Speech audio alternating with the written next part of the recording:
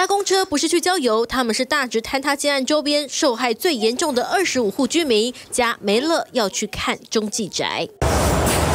打开房门，阳光洒进来，格局方正。南港基和三期就在东阳公园旁边，附近还有河堤，租期三年，月租一万一到一万八千元，租金还可以请领补贴，通通基泰买单。家具跟什么他都会帮我们添购，这样子就是该有好像都有，而且是全新的样子。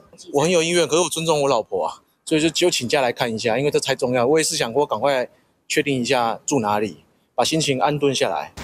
都发局接连两天陪受灾户来看中继宅，只是这只有提供给塌陷不能再住的二十五户，却有受害租客得知资讯也跑来凑热闹。我们在这边呃集合三级这边，我们准备大概四十组四十户可以做一个安置。那目前住户预约的状况的话，今天大概是有五组，那大概是八个人左右。那明天目前大概出估是十组。针对坍塌案，土木技师工会与结构技师工会日前联合声明，指控建筑师在建筑法中是唯一监造人，但他却把时空品质监造责任推给营造业者，认为建筑师不具有专业能力执行结构监造，又不愿意释出监造权，监造制度形同虚设。希望政府落实专业分工。对此，有建筑师强烈反驳：其实建筑师再去做监造是针对全面性，不是只针对结构，他要必须先去自我的要求，营造厂要去自我的要求。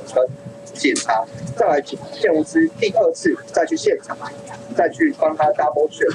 大致坍塌第九天，已经有六十二户回家了，最严重的二十五户短期先安置，但重建恐怕还是漫漫长路。大多数居民只希望别拖太久。提供环节，台北速走。想看最完整的新闻内容，记得下载 TVBS 新闻网 APP。